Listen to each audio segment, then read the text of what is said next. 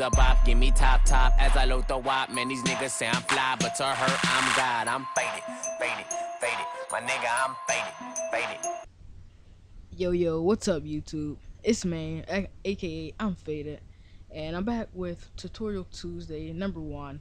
And I will be doing every other week Tutorial Tuesday, then Topic Tuesday, and so on. It was requested a few times in the comment section, and I decided to come up with that conclusion. So let's get into the tutorial. So in today's tutorial, I will be showing you how to do shot and dunk syncing, and you know just how to create a overall nice flow in a mixtape.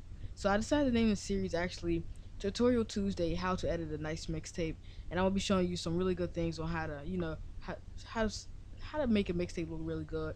And I think this is really the main part of how to make a mixtape look look good is you know the flow of the edit and the syncing and the bass dropping, and uh, you know just things like that. And let's get into the tutorial. But first, I'm going to show you an example of what I am talking about. So here it is.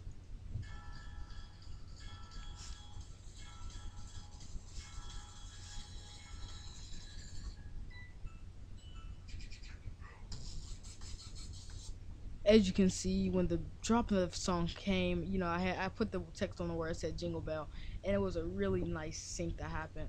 So I'm going to be showing you how to do that today.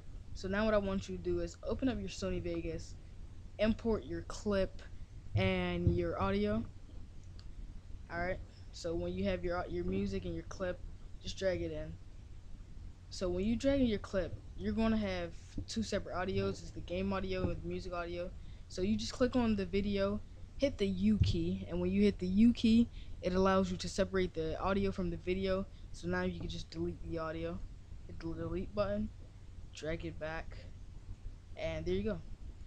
So now I'm just gonna uh, hurry up and split to where the play actually happens, because you know this was actually a long play. This isn't part of the, of the tutorial. You can actually, you know, you don't have to pay attention to this. Sorry guys, I forgot this was a long clip. Alright, this should be cool. Alright, so now what you want to do is right click on the video, and I'm going to try to make this tutorial as fast as possible. So I don't want it to go over five minutes, so we're going to really have to start, you know, try to speed things up. But I will explain it really good.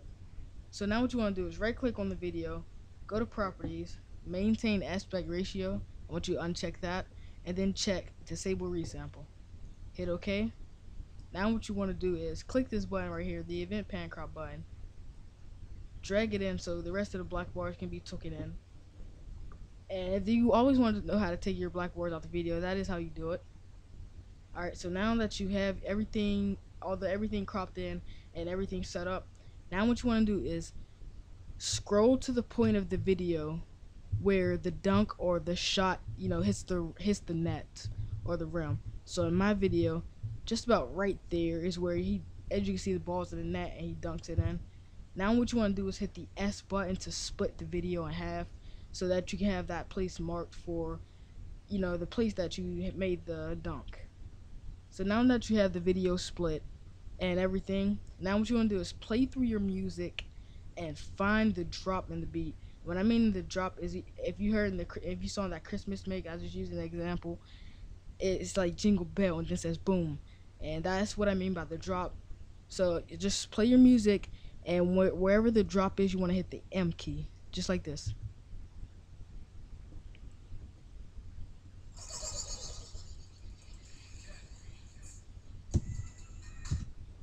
Alright, so the drop in my beat happened, and I really I know this song really well, so I knew it on my first try. You might have to, you know, listen to your song once or twice to do it. So that's where I have my drop beat. I have my marker. I have my split my my clip split. So now what you want to do is go to the second splitted clip right here and drag it after the marker so that it can be, you know, stuck on and lined up to the marker.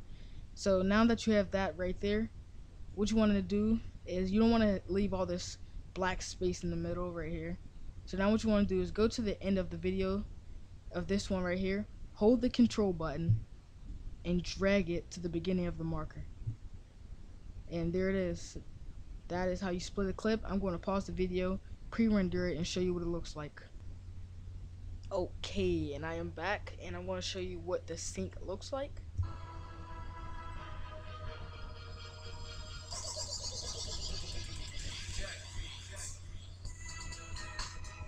Alright, so that's nice and synced up, and as you can see, the clip goes slow all the way until I dunk the basket. So now that you got the sync already, the easy part comes in, and you just want to drag in the base. I will be linking this in the description so you guys can have it. So I like to do this with my dunks. Just put a bass sound so that they know that you know dunk actually happened. So you just want to line it up where the sh where the base happened, where you dunked it at, and that should be right there on the marker. And now I'm gonna, and now what you want to do is pull the volume slider all the way up to 12, and I'm going to pre-render this one more time. Alright, so I have my video pre-rendered and now I'm going to show you what the final clip looks like.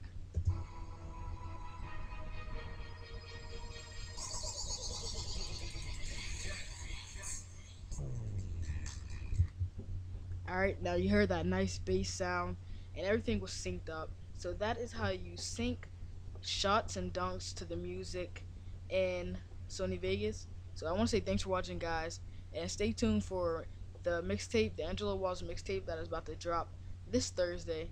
And once again, thanks for watching, guys, and I'm out. Peace.